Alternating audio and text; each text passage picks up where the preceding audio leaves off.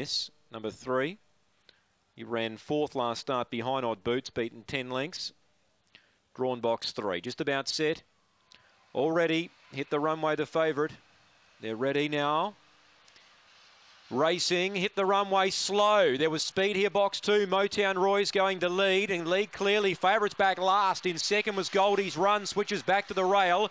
Now Homer's found the rail in third placing and I'm a Caravan's outside of it now as Homer's railing up down the back into second. Fifth placing McIver Neville. Behind those hit the runway with a lot of work to do from Cryers Bob and Odd Boots is last. Leader off the back is Motown Roy. Homer's three lengths away trying to get the leader running on behind them. I'm Caravan. It's in front. Motown Roy, a length and a half to Homer, is trying hard, but Motown Roy, he wins again. Second Homer, third I'm a Caravan. Goldie's run grab fourth, hit the runway, never a chance.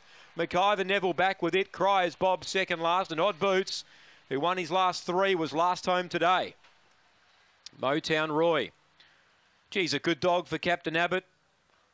A consistent dog when he jumps on the lure. Geez, hard to beat. Homer lobbed in a great spot down the back and you just felt for a, a, small stride that he might challenge Motown Roy, but no, he couldn't. Motown Roy kept going and has run 35-44. I'm a caravan battling away into third. Two, three, seven in the frame here. Four gets fourth Goldie's run. 35-44 the run.